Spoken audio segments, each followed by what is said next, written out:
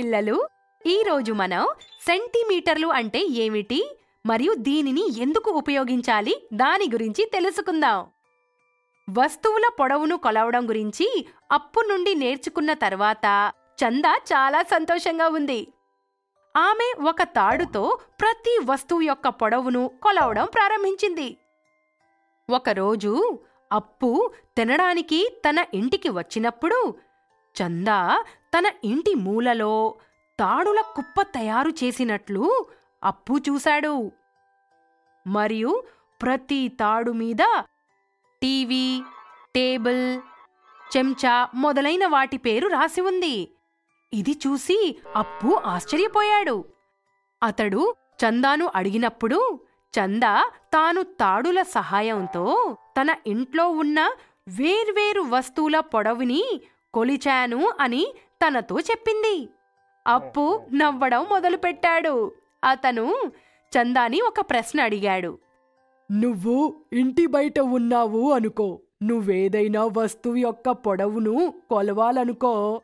మరియు నీ దగ్గర ఏ తాడు లేదు. అప్పుడు నువ్వేం చేస్తావు? చందా కాసేపు ఆలోచించింది. కాని తనకి అప్పు ప్రశ్నకి సమాధానం దొరకలేదు. అప్పు తనని మరొక ప్రశ్న అడిగాడు. నువ్వు ఒక వస్తువు యొక్క పొడవును ఎవరికైనా చెప్పాలనుకుంటే ఆ వ్యక్తి నీ ముందు లేకుంటే నువ్వు ఆ వస్తువు యొక్క పొడవును ఎలా చెప్తావు? చందా దగ్గర అప్పు యొక్క ఈ ప్రశ్నకి కూడా ఏ సమాధానం లేదు. పిల్లలు అప్పు వేసిన ఈ ప్రశ్నలకు మీ దగ్గర ఏమైనా సమాధానం ఉందా? లేదా? పర్లేదు. ఈ ప్రశ్నలకు అప్పు చందాకి ఏం సమాధానం ఇస్తున్నాడో చూద్దాం. అప్పు చందాతో తను ఈ సమస్యలన్నిటినీ తాను ఒక సులభమైన పద్ధతిలో పరిష్కరించవచ్చని అన్నాడు. సెంటీమీటర్ల సహాయంతో. చందాకి ఏమీ అర్థం అవ్వలేదు తాను అప్పుతో వెంటనే అడిగింది.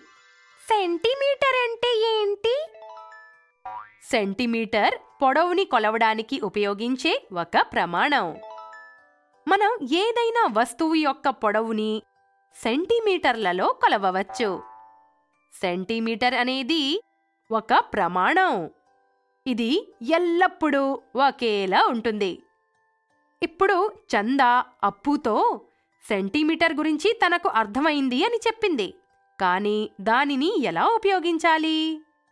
మరియు వస్తువుల పొడవుని ఎలా కొలవగలడు?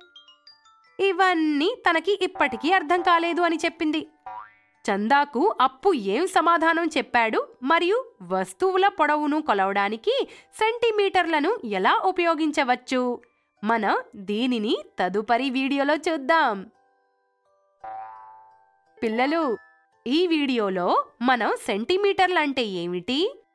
మరియు దీనిని ఎందుకు ఉపయోగించాలి? దీని గురించి తెలుసుకున్నాము.